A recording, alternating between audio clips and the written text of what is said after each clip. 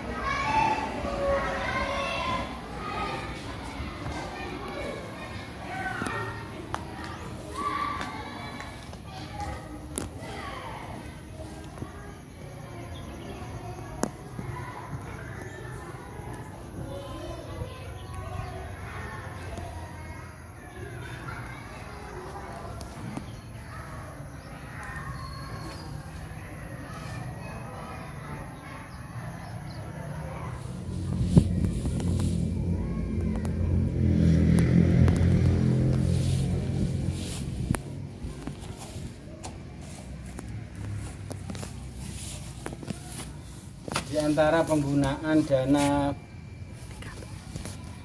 BKBA adalah pembangunan MCK untuk para siswa.